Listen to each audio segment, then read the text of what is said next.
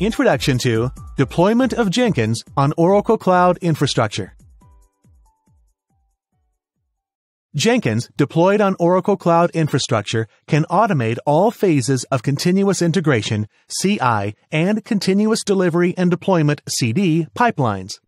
Jenkins supports the master slave mode, where the workload of building projects is delegated to multiple agent nodes by the master, allowing a single Jenkins installation to host multiple projects or to provide different environments needed for builds, tests.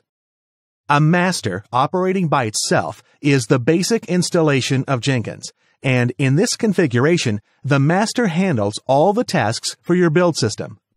An agent is a slave node that is set up to offload build projects from the master.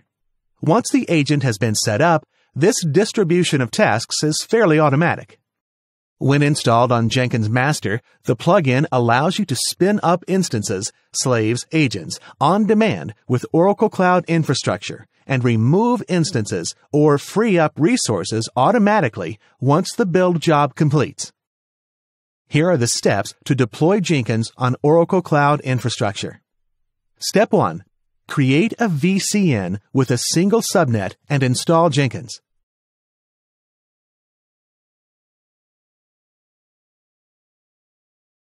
Step 2.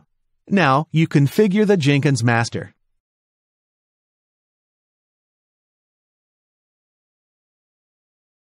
Step 3.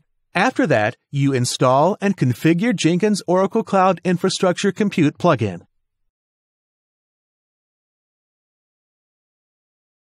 Step 4. Finally, launch the Jenkins agent nodes. Here is a quick demo of the steps involved.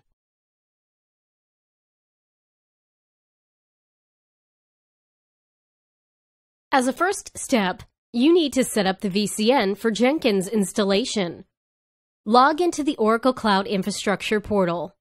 Create a VCN within the desired availability domain to house the Jenkins master and agent nodes. In this video, we create both master and agents in the same subnet. However, it is not necessary to have both master and agents in the same subnet. Now launch an instance in a subnet. We use this instance as our Jenkins master node.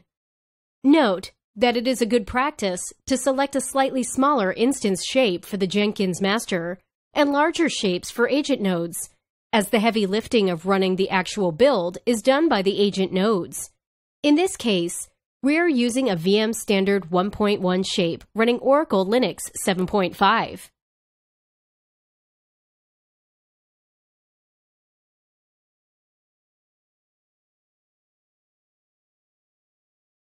Log into the instance using the public IP address and the associated SSH public key of the instance. To learn about generating the SSH key pairs, API keys and fingerprint, and other user details, refer to Oracle documentation. You can access the documentation by clicking the question mark on the top right of your console dashboard. Select Documentation. On the documentation page, you can either search by typing your query into the search box or via the Documentation tab on the right-hand side. Entering a query in the search box will lead you to the search results page, where you will find multiple resources listed. Let's proceed with Jenkins installation now.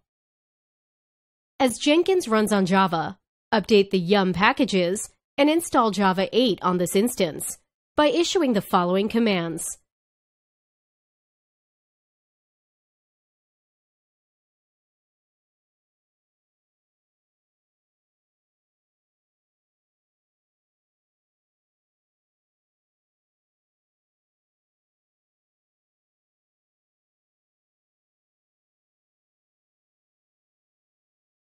The dependencies have been installed, and the environment is ready for Jenkins installation. Install Jenkins using the following commands.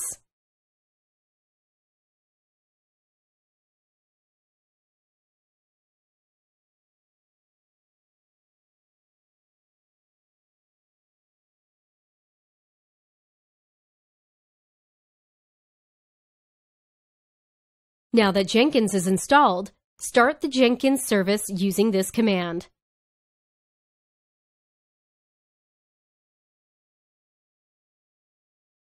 If successful, the command output looks similar to the highlighted one.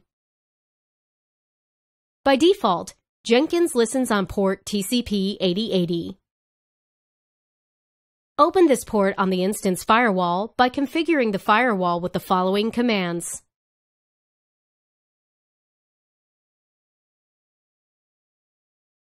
Now, Jenkins is configured on the instance.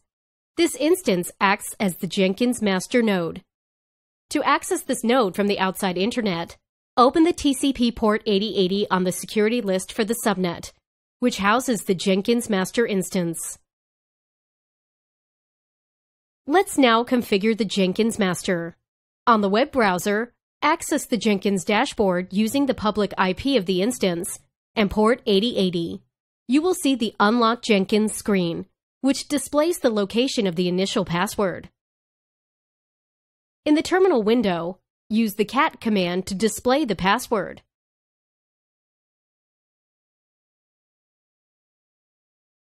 Copy the 32-character alphanumeric password from the terminal and paste it into the administrator password field.